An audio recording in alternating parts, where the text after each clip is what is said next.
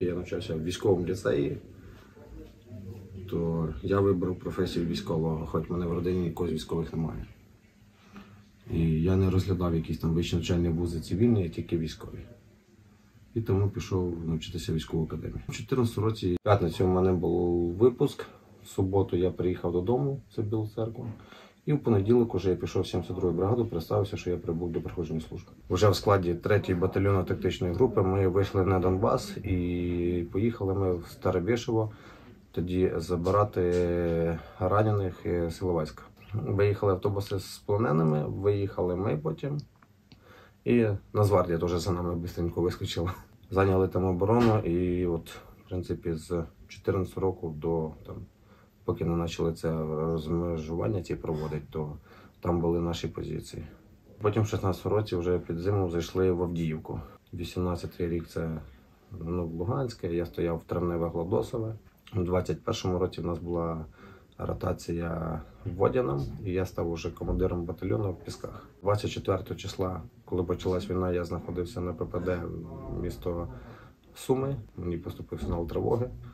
Я приїхав в частину, всім оголосили тривогу, збір в 3, десь там 57 чи 3,58 я виходжу зі штабу на крильцо, а він мене йде в сторону, як би сказати, лісу, в напрямок кордону державного, ну, на схід. Закурю сигарету і чую якийсь гул. Піднімаю, як то кажуть, піднімаю голову до неба і чую гул літаків. Бачу спалахи в, напрямку кордону, що йдуть залпи. Дзвоню до командира бригади, це полковник Кащенко був. Е, Кажу, почалося, що почалося. Війна почалася. Він кинув трубку, потім е, через там, пару хвилин мені телефонує, каже, займай оборону в Сумах. Був мер міста Сум, сказав йому, щоб він включав сирену, бо зараз зранку люди почнуть ну, в садики, в садики, ти в школу, на роботу. І десь уже о чи, чи третій, чи четвертій вечора. Е, уже чутно було гул техніки, нам вже передавали місцеві, що їде колона. І вже мій лівий фланг е, вступив в бій з противником. Коли вже е, російські війська в Київській області Чернігівської почали відводити, е, ми зайшли в Золотинку і потім зайшли в Ягідне. Один мужик виглядає, бачимо так, що він ну, так опасається. Він такий, «Е, хлопці, ви хто? Ми кажемо, свої, а ви хто? Він свої. І ну, він почав кричати, що свої, свої там. Ми туди підходимо, і це був шок, тому що ми не думали, що там скільки є людей, а там е, 300 чоловік тримали місяць в підвалі. З них було 58 е, дітей. Е, я спустився в підвал кожну кімнату. Я говорю, що от така кімнатка, їх там отак заходиш, а вони ну, як один на одному. Один на одному. І ну, діти підходять е, там, о, а ці дяді хороші, а ті були погані. А от ви наші там захисники, і це все, ну, ну то це все якось. Це був жах. І потім, коли от, е, побачили цивільних, а потім почали по селу ходити, бачили кучу цих машин е, розстріляних. Ну, думаю, ну, машину розстріляли, всяке може, але ж ну, дивимося, ну, нікого нема, ну, тіла немає значить, мабуть, живіше. Потім хоп, побачимо, на обочинах лежать. Там лежить, там лежить. У мене був командир батареї. Женя. І він до мене підходить і каже: командир, я пообіцяв сім'ї, що я їх вивезу. Можна я поїду, заберу їх. Кажу, «Доб- ну, я сказав, добре, їжджай, я тут займаюся, поїдь, да, забери їх, вивези.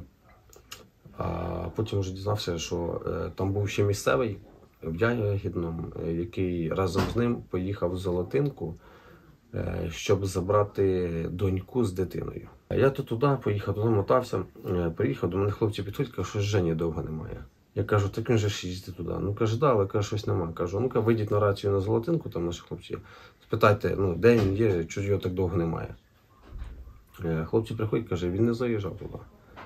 Кажу, не пам'ятаю, він ще ну, давно ж поїхав. А куди він поїхав? Підійшла жіночка, каже, ваш типу, хлопчик поїхав з моїм чоловіком. Я кажу, а куди він поїхав? Вони сюди поїхали нас трошки через поле. Кажу хлопцям, хлопці бігом побігли і е, побачили машину. Е, Женя разом з ним е, підірвалася на фугасі. Отак. Жені залишилось син, дружина. В війні немає нічого хорошого. Звернувся до керівництва, що, ну, що тут стільки-то людей доповів про це, що їм ну, потрібна евакуація. У мене було декілька автобусів, бригада виділила, ми забрали людей звідти, після чого прибув вже в іншу військову частину, став командиром батальйону тут. На цій позиції вже місяць тримаємо тут оборону. Поки що ще у нас ніяких проривів не було, слава Богу, все добре. За останній час вже трохи йде якийсь такий переломний момент, тому що от ми всі бачимо, да, що от, е, наша артилерія знищує їхні склади боєприпасів. Якщо там в мене остається 10 снарядів, і я вже ну, трошки якось хвилююсь, бо в мене сталося 10 снарядів, то в них, коли остається 4 снарядів, в них вже паніка. Працюють наші і цезари, і три топора наші працюють. Ми цю роботу бачимо, працюють чітко. З ними тримаємо взаємодію, коригуємо. На нашому напрямку от, перевагу маємо ми. Те, що може бути повномасштабна війна, я прекрасно ну, це розумів. Що може бути таке, що і буде і авіація, і все буде в світі. Звісно, всі хотіли, щоб цього не було. і Думали, щоб цього не буде. Але таке произошло. Е- тобто, якби я хотів, да, там можна було б за все це время, да, якось не знаю, там, не підписувати другий контракт, після першого контракту звільнитися. Ні, я би був би військовим.